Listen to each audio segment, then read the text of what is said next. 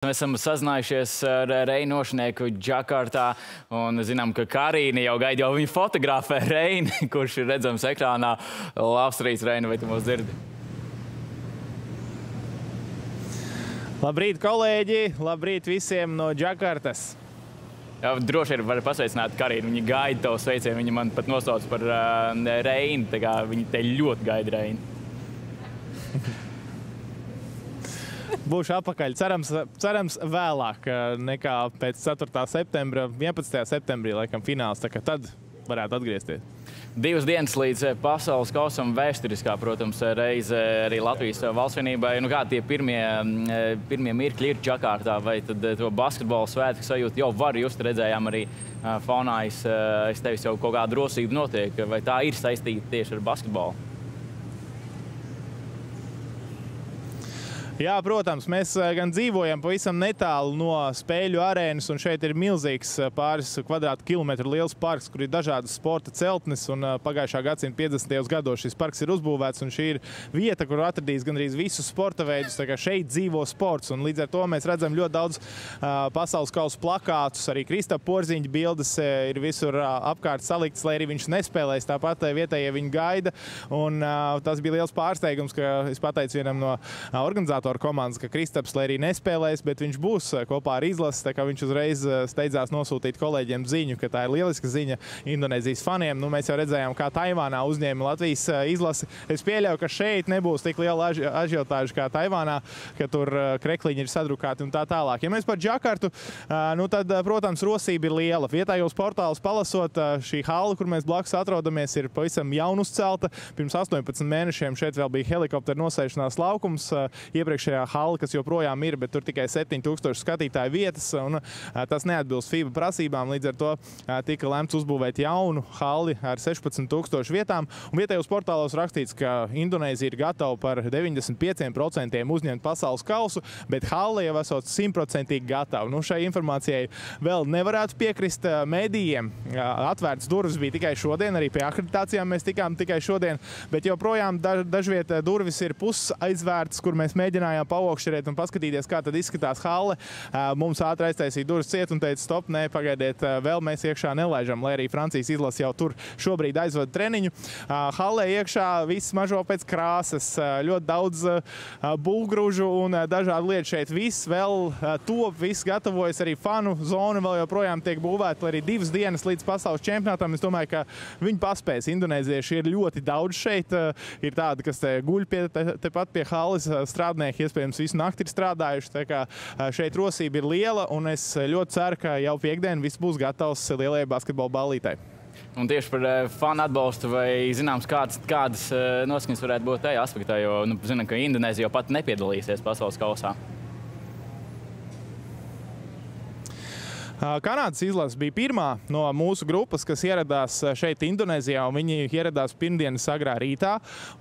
Viņu tāds paralēlais mērķis pasaules kausam sportiskajiem mērķiem bija šeit aizdīt vairākus fanu un līdzjutēju pasākumus, jo viņi vēlas kļūt par šī turnīra saimnieci arī tribīnēs, lai visvairāk fanu atbalsta Kanādu kā mājas komandu. Tieši tāpēc viņi pie tā ir piestrādājuši. Vai tas nostrādās, to mēs redzēsim čempionāta laikā.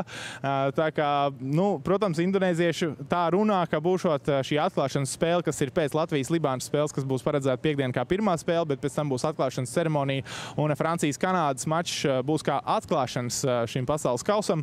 Nu, tad daži portāli raksta, ka šī cīņa jau ir izpārdota.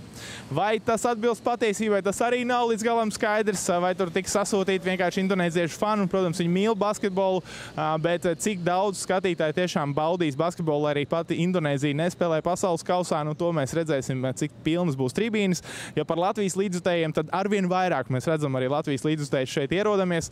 Ir izveidota arī WhatsApp grupiņa, kur arī man aicināja pievienoties, kur cilvēki apspriež, kādas simtkartes nopirkt, kur var naudu samainīt vislabāk, kurā bārā tiekamies un tādas dažādas nianses. Tā kā, tur ir vairāk nekā 120 cilvēki jau šobrīd pievienojušies. Tā, kā, tā ir tāda vietējā Džakartas latviešu komūna izveidojusies. Noteikti šis skaits kļūs arvien lielāks un kā fani teica, ka vakardien lidmašīna ir bijusi pārpildīta ar Latviju, Latvijas līdzjutējiem. Viņi vakar lidoja caur Stambulu. Tas arī būs interesanti pavērot, cik tad beigās būs. Esmu dzirdējis skaitu ap diviem tūkstošiem, ka varētu būt Latvijas līdzjutēji šeit Džakartā.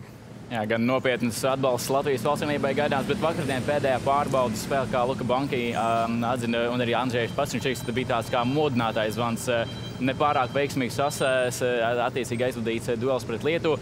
Paziņos 12. Marks Mēris un Jānis Tīmārkus sastāv. Kāda ir kāda ir jaunuma no Latvijas valstsvienības nometnes. Vai šis zaudējums kaut kādā mērā ir vēl sapurinājis tieši pirms pasaules kausa dalības? Kā jau atskaitītais Jānis Tīma teica, ka šis bija nepieciešams pirms pasaules kausa dabūt pērienu. Tas ir ļoti labi arī spēles komentētāji. Cik mums beidzot līdz otrā puslaika beigām gandrīz tikai sanāca pieslēgties no šeit, lai varētu vērot spēli. Gan interneta problēmu dēļ, gan autortiesību problēmu dēļ, kamēr mēs tikām, lai redzētu LTV 7 pagāja laiks. Bet, jebkurā gadījumā, es domāju, ka tas nāks par labu. Sapurinās komanda, protams, pārbaudas spēļu cikls ir bijis gana garš, treniņu cikls ir bijis gana garš un grūts. Un es domāju, ka fizioterapeiti vislabāk zina, kāda ir tā forma, kur ir jābūt formas pīķim. Un, protams, tas ir normāli, ka ir kāpumi un kritumi. Un cerams, ka šis bija kritums, lai mēs atkal piekdien būtu atpakaļ kāpumā. Nu, Latvijas izlase šodien pēcpusdienā ierodās no Taivānas. Mēs viņus sagaidīsim, arī redzēsiet noteikti sižetā. Mēs, protams, ļoti ceram, ka izdosies mūsējos nofilmēt. Viesnīcu esam jau atraduši, uz kur jādodas, bet vakarā vēlais treniņš paredzēts. Luka Banki lēmis, ka no pulksten 9 līdz 11 vakarā būs divu stundu treniņš šovakar, un eh, tad mēs noteikti uzzināsim jau daudz vairāk par plāniem, tuvākajiem plāniem un par noskaņojumu komandā.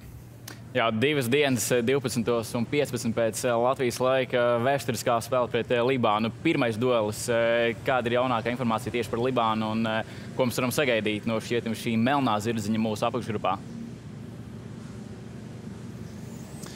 Azijas vicečempioni. Ļoti spēcīga komanda, pret ko mēs neesam spēlējuši. Un, uh, mums kolēģi šeit bija. Starp citu, ir, ir arī latvieši šeit, kas strādā, lai nodrošinātu šīs starptautiskās uh, televīzijas translācijas ir daudz lietuviešu. Un, Pagājušajā gadā liela daļa no šiem cilvēkiem bija šeit Āzijas kausā, kā iesildoties pasaules kausam, un šeit arī Libāna spēlēja. Un teica, ka Libānas izlase spēlēja ļoti uz emocijām, un ir tāda atletiska komanda ar ļoti labu komandas garu. Tas, protams, var izsist pretinieku, šajā gadījumā Latviju no līdzsvaru, bet, nu, protams, arī mūsējiem ar garu un ķīmiju viss ir kārtībā. Bet interesanti, ka Libānas izlase, skatījos, ir atcēlusi abus šodien paredzētos treniņus rīt būs komandu prezentācija. Noteikti centīšos arī uzprasīt, kāpēc tā, tāds lēmums pilnībā šodien iedot brīvdienu Libānas basketbolistiem. Iespējams, viņi kaut kur parkā skrien krosiņu, kādi ir viņu mērķi, tas pagaidām nav zināms. Zinām, protams, ka Kristaps Porziņš traumas dēļ nevarēs palīdzēt valstsvienībai, bet, kā jau pats minēja, viņš ir devies ar Latvijas valstsvienību. Kāds varētu būt viņa pienesums atrodoties blakus komandai soliņu un cik komanda pat varbūt tieši novērtēja, ka Kristaps ir devies viņam līdzi? Nu, cik es dzirdēju, ka Kristaps pats ir apsvērs arī šo savienoto kāju, izvērtējis situāciju, kā būtu, ja, piemēram, viņš dotos vienā spēlē palīgā laukumā, eh, cik tas varbūt eh, nestu viņam pēc tam, cik ilgi būtu jāizlaiž. Eh, viņš, protams, ir ļoti pārdzīvojis par to. Viņš pāris dienas vispār esot bijis neģīmē un nerunājis un tik ļoti gribējis piedalīties šajā vēsturiskajā notikumā, debijā pasaules kausā un, diemžēl, šis pēdas savainojums liedz viņam to darīt. Bet tas, ka viņš ir kopā ar komandu, tas, protams, ir patīkami. Tas ir tāds komandas gars un viņš jebkurā brīdī var palīdzēt komandas biedriem iedrošināt viņus un es ceru, ka tas palīdzēs. Nu, ka nejauks garu. Ziniet, kā tā ir, kas, kas notiek izlasē, tas paliek izlasē. Tik sīki mēs nezinām, kāds, kāds tur ir noskaņojums, bet tā no malas vērojot, es domāju, ka arī Jānis Strelnieks ir kopā ar komandu, un viņi ir divi ļoti nozīmīgi spēlētāji Latvijas zīmējumā un ir ļoti palīdzējuši, lai izcīnītu šīs 11 uzvaras pēc kārtas pasaules kausa kvalifikācijā. Un, kā, viņiem ir jābūt kopā ar izlasi, ja tāda iespēja ir, un arī vietējie līdzutēji, protams, būs ļoti priecīgi vairāk laika būs eh, pabildēties un dabūt autogrāfus no Krista Porziņa. Paldies, Reni, ka pieslēdzies eh, no Džakartas un eh, sveiciens arī Normandam Palovskam operatoram, lai tad veiksmīgs un arī vēsturisks darba cēliens un ņemot vērā, ka tev arī dzimšanas diena pasaules kausa ietros, tā kā nu, izbaudi šo kopējo noskaņu, Reni. Paldies, paldies. Ļoti kārsts. 32 grādi, pēc sajūtām 36. Man jau var redzēt, ir zem akreditācijas nav gaisa, un tur viss ir slapjš. Nedaudz pakusties, un ir, uh, ir nepieciešama duša. Bet nu, kaut kā gan jau izturēsim. Bet, nu, Karina ar uh, Sigurdu jau izmantoju šo brīdi pie viena no ekrāniem, kur arī tu biji redzams. Viņa nofotografējās. Kā nu, tiešām skumst un arī vēl to vislabāko. Sveicam arī no Karinas un Sigurda. Īpaši no Karinas. Paldies! Sveicieni! Jā, Reins Rošnieks, eh, Normons Palovskis no Džakārtas, eh, Indonēzijā, kur jau pēc divām dienām Latvijas valstsvienība aizvadīs eh, pirmo spēli pasaules kausā vēsturiskā dalības reizes tieši pasaules čempionātā pret Libānu. Sekosim līdzi arī Reņa Rošnieka attiecīgi reportāžām no